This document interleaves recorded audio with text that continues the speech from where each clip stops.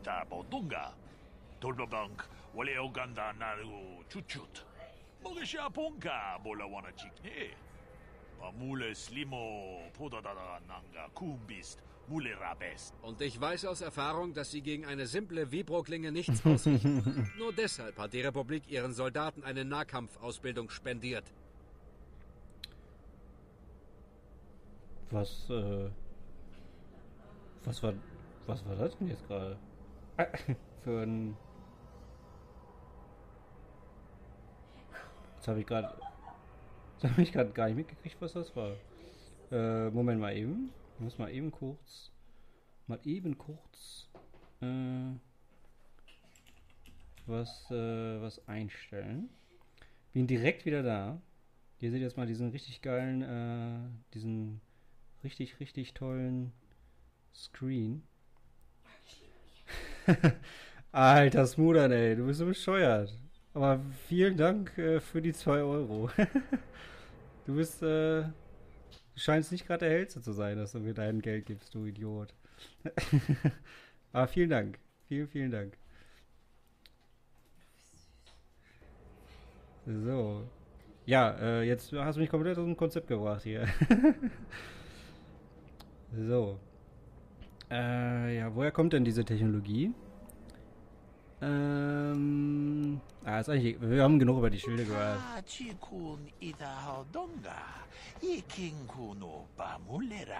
Ah, ne, billig. Ich hab kein Geld, ey. Haben wir das denn wenigstens im Stream gerade gesehen?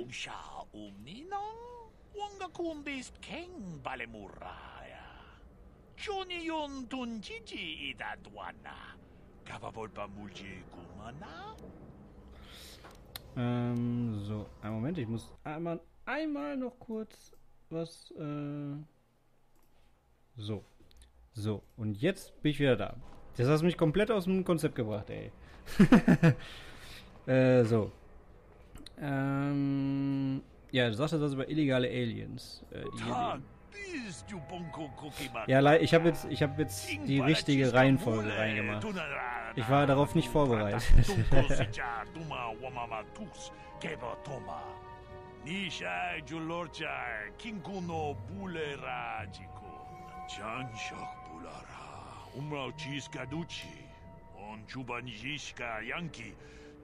Um es ganz zu sehen, musst du nochmal, äh, musst du 5 Euro spenden. Nechi Chuna Chubaching Lorda Itakun Witam Boragatong Mulira Ashang Turung Ni Na Potata Twangachun Wie, die bezahlen nicht mehr Miete. Hallo? Was ist das denn, ey? ey? Ähm, nam, nam, nam. Ach, zeig mir mal, was du verkaufst, was du verkaufen kannst. Ich glaube zwar nicht, dass wir uns zum jetzigen Zeitpunkt des Spiels schon was kaufen können. Medikit, Militäranzug. Ja, 165. Auf gar keinen Fall. Äh, okay. Na gut. Äh, wir gehen erstmal weiter. So. Lieber Smudern, äh, wie sieht das denn aus? Will, wollen wir böse spielen oder wollen wir äh, lieb spielen? Das darfst du dir jetzt aussuchen.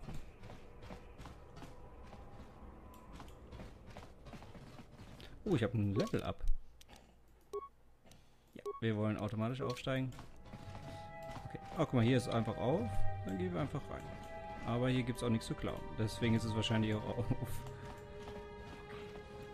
So. Wenn ich übrigens gleich ein bisschen, äh, bisschen schreie oder so, dann äh, liegt das daran, dass meine Haustiere mir in die Füße beißen. Ja, Evil, ja, genau. Ich hatte gehofft, dass du das sagst. okay, dann äh, würde ich mal sagen, äh, ist diese einfache Sicherheitstür. Äh, oh Gott, ich werde hier gerade von, von Ratten belagert. äh, ist die einfache Sicherheitstür, würde ich mal sagen, ähm, unser, unser leichtestes äh, Hindernis. Und wer eine verriegelte Tür und Behälter kannst du aufbrechen oder mit einer Waffe aufschießen. Ähm, ach egal, wir hauen die einfach kaputt. Und dann. Wie kann man denn eine Tür verfehlen? Ich kann er das denn bringen? So, hallo Dia. Na? Wie Wer geht's? seid ihr? Was macht ihr hier? Ihr könnt nicht einfach bei anderen Leuten einbrechen. Doch, das kann ich. Ja, wir sind nicht Darth Möhre, äh, wir heißen ja Bron Regan. Aber wir können ja, ähm, wir können ja, wenn wir, also wir kriegen ja, also die, die, die Sith Lords kriegen ja, wenn sie sich, wenn sie sich, ein, wenn sie Sith werden, kriegen sie ja einen neuen Namen. Dann, äh, dann nennen wir uns einfach Darth Möhre. äh, ja, pf, ähm, ich wollte mich nur, ich wollte mich nur umsehen, ob es was zu stehlen lohnt. Ihr seid genauso schlimm wie dieses Schwein Holden. Ich werde euch nicht dran hindern, aber ihr verschwendet eure Zeit. Ich habe nichts, was sich zu stehlen lohnt. Genau, alias Darth Möhre. Ja, die hat nichts, äh, was sich zu stehlen lohnt. Hm, Da hat sie leider recht. Ihr schon wieder? Ja. Warum nervt ihr mich? Ja, ich möchte mich, ich, jetzt möchte ich mir euch ein paar Fragen stellen. Da kann ich euch nicht weiterhelfen. Seit der Sache mit Holden verlasse ich meine Wohnung lieber nicht mehr. Ich habe keine Ahnung, was außerhalb meiner vier Wände vor sich geht. Achso. Wer ist denn das? Bloß einer von Daviks Leuten, der seine Pfoten nicht bei sich behalten kann. Aber als Dankeschön hat er jetzt eine fette Narbe von meiner Vipro-Klinge. Schade nur, dass ich immer noch die Leidtragende bin. Das ist aber, das ist aber nicht, äh, nicht so gut. Was willst du damit sagen? Ich, äh, ich will nicht darüber reden. Ich habe schon genug Ärger am Hals. Außerdem weiß ich ja nicht, ob ich euch trauen kann. Doch. Natürlich könnt ihr mir trauen. Ich bin ein komplett fremd dahergelaufener Typ, der gerade in deine Wohnung eingebrochen ist und dich bedroht hat. Also, wenn du wem trauen kannst, dann so wohl mir. ja, hier, versuchen Sie mal zu überreden, aber ich glaube nicht, dass das klappt. Naja, Ah, doch. ihr Ach, scheint guck. schon irgendwie ganz in Ordnung zu sein. Als ich Holden den Schnitt verpasst habe, hat ihn das zwar abgeschreckt, aber auch Ich all ganz in Ordnung Freunden zu sein. blamiert. Gerade noch Holden ist ein gesagt, ich guck mal, was hier klauen kann. Er hat ein Kopfgeld Ja. auf mich ausgesetzt. Anscheinend hat die Gute Darum nicht so ein gutes Gedächtnis. so, was kann ich denn tun, um dir zu helfen? Das bezweifle ich. Holden ist einer von Daviks Leuten. Wenn man für den örtlichen Unterweltboss arbeitet, drücken die Behörden schon mal mehr als ein Auge zu. Ich fürchte, das muss ich mit Holden alleine austragen. Ja, vielleicht kann ich auch, äh, kann ich auch selber. Ähm ich denke, ich treibe einfach das Kopfgeld ein, das auf euer Gesetz ist. Das sagen wir jetzt nicht direkt. Ich würde mal sagen, wir sprechen erstmal mit Holden, oder? Ich denke, ihr könntet es versuchen. Normalerweise hängt er in der Kantina in der Unterstadt rum. Aber es dürfte nichts nützen. Holden ist es gewohnt, seinen Willen zu kriegen. Das ist einer der angenehmen Nebeneffekte, wenn man für Davik die Drecksarbeit erledigt. Wenn man für den örtlichen Unterweltboss arbeitet, lassen einem die Behörden schon mal was durchgehen. Aber trotzdem, danke für das Angebot. Ja, kein Thema. Äh, ja, okay. Ich muss jetzt gehen. Ey, Auf Wiedersehen und viel Glück. Ich hoffe, ihr könnt Holden etwas Vernunft einbläuen. ja. Oder wir kommen halt wieder und holen uns das Kopfgeld. Na, egal. Äh, okay. So, dann hier ist die nächste, ähm. Ich glaube, ich, ich, glaub, ich habe da gerade einen Schrei gehört. Kann das sein? Ich glaube, wir müssen mal hier rein. Ich glaube, hier ist eine Jungfrau in Nöten oder so ähnlich. Ja, guck. Eine Jungfrau in Nöten, wie ich gesagt habe. So, was haben wir denn da? Und eine Tasche. Teile, Computersonden und 18 Credits. Guten. Tag. Tunirama na praka donko searcha chupapanki. Okay. Das ist nett. Da kommen wir in die Oberstadt. Äh, waren wir jetzt überall drin? Ja. Okay. Dann können wir zur Oberstadt gehen. Zumindest zur südlichen Oberstadt. Schauen aber mal, wie, wie weit wir da kommen. Neuer Tagebucheintrag. Juhu. Können wir eigentlich mit Ja. denen reden? Was habt ihr auf dem Herzen? Hm, ich will mehr über dich wissen, Karl. Über mich? Ja, sicher. Nun, ich war jahrelang einer der besten Piloten der Republik. Ich habe mehr als genug vom Krieg gesehen. Bevor das hier alles losging, kämpfte ich in den Mandalorianischen Kriegen. Aber trotz alledem, eine solche Schlechterei, wie diese Cis-Bestien sie hier angerichtet haben, habe ich noch nie erlebt. Nicht mal die Mandalorianer waren derart gefühllos. Meine Heimatwelt gehörte zu den ersten Planeten, die Malaks Flotte zum Opfer fielen. Das ist nett. bombardierten uns bis zur Aufgabe. Die republikanischen Truppen konnten rein gar nichts dagegen unternehmen. Oh, das ist, äh, das ist doch nicht schön. Äh. Beruhigt euch doch mal, ich habe doch nur gefragt. Ja, das muss sehr schmerzhaft gewesen sein. Ich bin bloß ein Soldat. Ich gehe dorthin, wohin mich die Flottenadmirale beordern. Ich befolge meine Befehle und tue meine Pflicht. Und wenn ich das tue, darf man doch nicht behaupten, ich hätte sie im Stich gelassen. Habe ich nicht. Er sagt das mit so viel Imbrunst. Habe ich nicht. Nein, ich habe sie nicht im Stich gelassen. Nein, wirklich nicht. Äh, sie, ja, die Leute aus seiner Heimatwelt oder wer jetzt genau? Ja, nein. Nein, das habe ich ja, nicht gemeint. Nein, Ich, äh, nein. es tut mir leid. Ich rede wirres Zeug, nicht wahr? Ein Ihr habt es mit euren Fragen vielleicht nur gut gemeint. Aber ich bin es nicht gewohnt, viel über meine Vergangenheit zu erzählen. Oder besser gesagt, überhaupt etwas zu erzählen. Ich bin eher ein Mann der Tat, der sich immer nur auf das nächste Ziel konzentriert. Das sollten wir jetzt auch tun. ja. Wenn ihr noch Fragen habt, stellt sie bitte später. Ja, kein Problem. Äh, Man muss nämlich ab und an mal mit seinen Crewmitgliedern äh, reden. Dadurch kriegt man äh, immer mal wieder neue Quests oder ähm, Hintergrundinformationen auch. Oh. Was ist das denn hier? Hier scheinen republikanische Flüchtlinge gelandet zu sein. Wir sollten sie finden.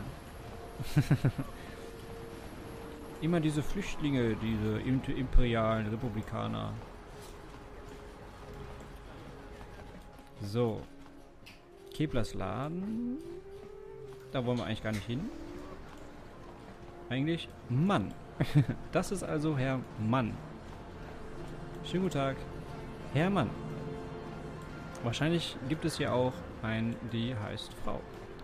Eingang der Kantina. Da können wir uns natürlich jetzt direkt mal um diesen äh, Haldo kümmern. Mm, aber ich würde sagen, Ey, Mann, lass mich mal durch. Ey, äh, wir erkunden erstmal noch ein bisschen. Ah, da. Da ist Frau. Frau, darf ich vorstellen? Da ist Mann. Ah, da kommt noch eine Frau. So. Guten Tag, es ist Trooper und noch einer. Guten Tag, hier ist Mann und Frau. und Mann und Frau. Oh, oh, oh, da gibt's Ärger. Kopfgeldjäger. Ich meinte, ihr hättet eure Zahlung vergessen. Das hier. Hier, ich habe 50 Credits, eine Anzahlung. Damit habe ich etwas Zeit gewonnen, oder nicht? Sorry, aber eure Zeit ist abgelaufen. der hat auch eine krasse Stimme, ey. Jetzt heißt es alles oder nichts. David kann keine Leute brauchen, die ihre Schulden nicht bezahlen. Aber so viel habe ich nicht. Wie kann ich euch Credits geben, die ich gar nicht habe? Oh, das ist nicht schlecht. Äh, nicht gut, meine ich. Nein, Hilfe! Warum hilft mir denn niemand? Die bringen mich um! Nein, Dass wir vorsichtig sein müssen, aber sollen wir wirklich zusehen, wie sie das arme Schwein wegbringen? nein. Moment mal. Sieht aus, als hätten Wir hauen die um Zeugen. und dann nehmen wir die 50 Credits. Tut mir leid, ich soll wohl besser gehen. Ich habe nichts gesehen. Hier ist meine Brieftasche. Ja, hier, ich mag eure Einstellung nicht. Ich teile euch besser eine Lektion. So nehme ich.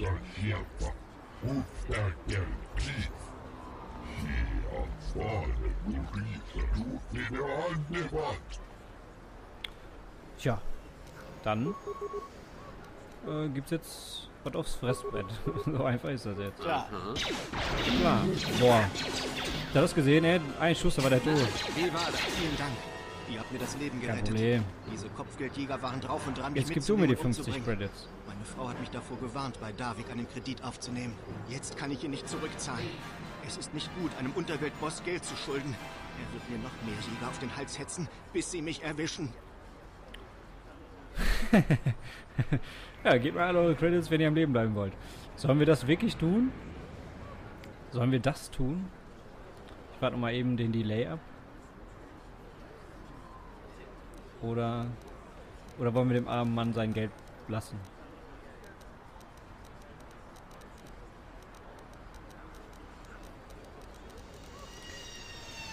Eigentlich, wenn wir böse sein wollen, müssen wir natürlich jetzt die Credits nehmen, ne?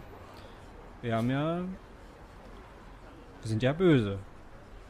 Ach komm, dann machen wir es. Gib mir mal deine Credits. Macht ihr Witze? ja, sicher. Wir brauchen diese Credits nicht. Geht einfach weiter. Es war uns eine Freude, behilflich sein zu können. Ich verschwinde hier, bevor noch mehr